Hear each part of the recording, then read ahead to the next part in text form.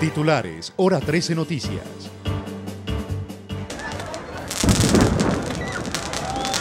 Lamentable liderato de Antioquia en número de quemados con pólvora.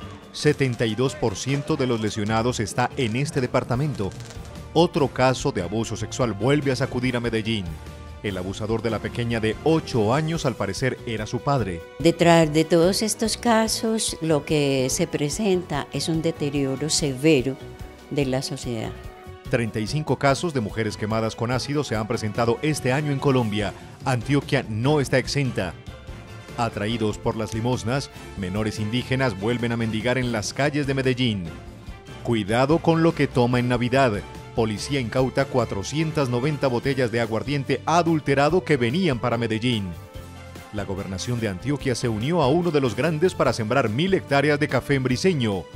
Campesinos de este municipio reclaman capacitación y carreteras para poder competir en el mercado del café era el único lugar recreativo que esta comuna tiene. Las esperanzas de los habitantes del barrio París no se ahogan. Confían en recuperar su espacio de diversión que se secó en el olvido. Agremiación de Ingenieros pide estudiar viabilidad de un tranvía por el túnel de Oriente. La imprudencia de motociclistas se abre paso en una importante, rápida y congestionada vía de Medellín. ¿Qué pasó en este edificio de Laureles que tuvo que ser evacuado? Mientras los padres trabajan, los niños aprenden. El Museo de Antioquia se convirtió en tutor de los hijos de los vendedores ambulantes. Palo en los cuartos de la liga. Eliminados Nacional y Junior. Aún retumban los ecos de las protestas por la eliminación del verde y los gritos para que salga el técnico Lillo.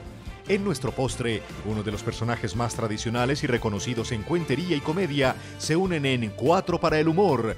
Y qué rica está la cumbia con los hermanos Aicardi. Se mueve la cadera.